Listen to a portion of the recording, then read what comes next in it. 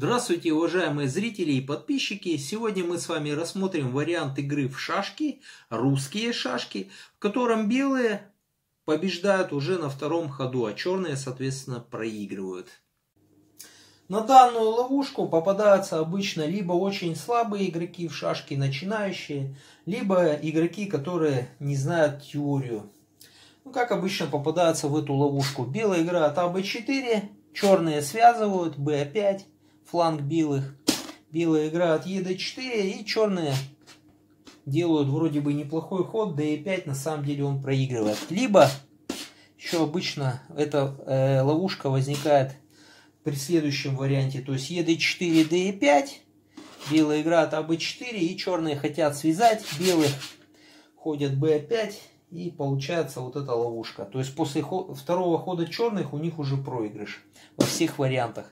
Белые играют f3, точный ход. То есть э, белые связали полностью левый фланг черных. То есть hg5 не пойдешь, белые отдают шашку одну и бьют две. Шашка лишняя.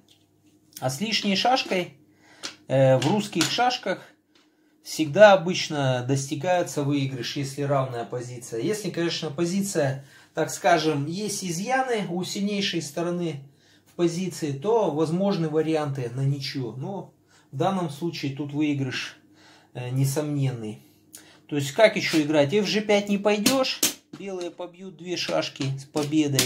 Ef4 тоже не пойдешь, белые побьют в эту сторону и остаются с лишней шашкой.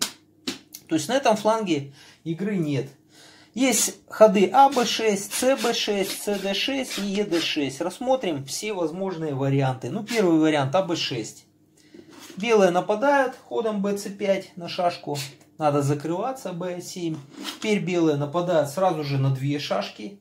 Опять надо закрываться черным. И после хода Б3 побили. Побили. Ну, черным ничего не остается, как только сдаться. Ну, можно, конечно, еще посопротивляться ходом АБ4 в надежде, что белые побьют либо в эту сторону, либо сюда. Но белые аккуратно бьют назад. То есть ЕД6 уже не сыграешь, у белых лишняя шашка. А после Б5, допустим, побили, побили, побили. У белых 9 шашек, у черных 8. Опять победа белых бесспорно.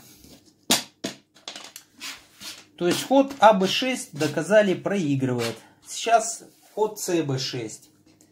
Белые занимают важное поле в центре С5.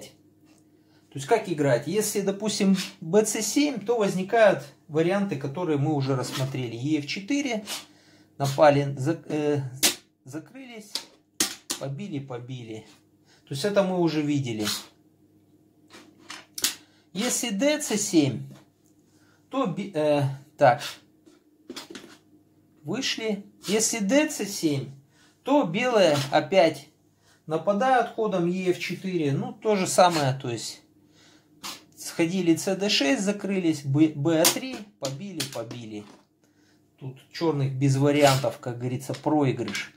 Есть еще интересный тут вариант сыграть hg5 за черных. Так, такая позиция hg5. Ну, тогда белые просто играют gf4. Побили, побили.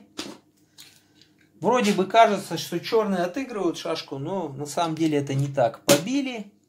Ну, надо бить две шашки. Если черные побьют одну, то белые просто разменяются и шашка остается лишняя. Поэтому надо бить сюда. Белые бьют в эту сторону именно. То есть сохраняют колоночки. Черные побили. И белые, видите, за счет колонок побеждают. Отдают одну шашку, бьют две. Разменялись, разменялись. У черных 5 шашек, посмотрите.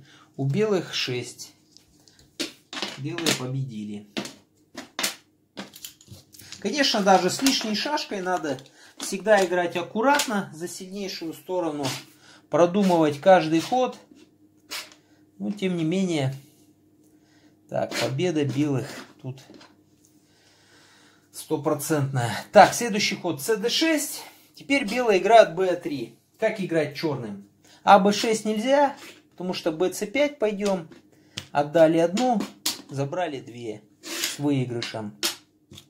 То есть если bc7, вроде бы черные создали ударный кулак, грозят разменяться, то белые окончательно тут связали. Левый фланг черный ходом ef4. Как играть? Остается только cb6. И опять эту позицию мы уже видели. Белые размениваются, занимают важное поле и грозят выиграть шашку черных. Так. Какая позиция? cd6, b3. Если d7, то тоже связали. Пошли cb6, единственный ход, разменялись на поле c5. Победа. Так, ход cd6 рассмотрели. Остался последний ход нерассмотренный, ед6. Теперь белые играют b3. Опять грозят занять важное поле c5.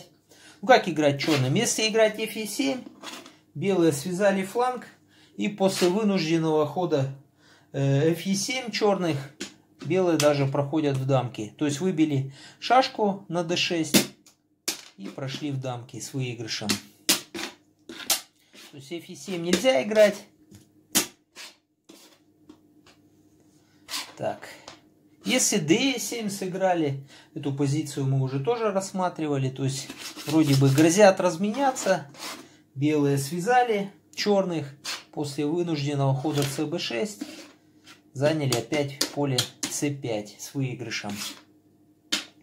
Остался еще один ход. Последний не рассмотренный. Значит, cb6, bc5 разменялись заняли важное поле c5. И вот здесь черные играют hg5. Вот тут уже, друзья, gf4 нельзя играть. Потому что черные побьют, белые отдадут одну шашку. Вроде бы побьют две, выиграли шашки, но на самом деле тут уже у черных появляются шансы на ничью. Отдали fe5, побили именно сюда. И тут уже у черных есть шансы на ничью. То есть так играть не надо за белых. Тут лучше играть следующим образом, чтобы не давать шансов. АБ4, Б5, ЕД4, Д5, Ф3, ЕД6. То есть сильнейшее сопротивление оказывают черные БА3, СБ6, БЦ5. И вот тут черные, если играют HG5, надо меняться ЕФ4. То есть отдали одну, побили две. Ну, шашку черным надо отыгрывать. Они играют dc7. И теперь белые аккуратно ходом ед2 и de3 грозят выиграть шашку черных. То есть на любой ход, вообще на любой, допустим, gh6, белые играют ef4 и следующим ходом забирают шашку и ставят рожон на поле d6 с победой. Друзья, если вам понравилось данное видео, то прошу поставить палец вверх. Всем спасибо за внимание, до новых встреч, до свидания.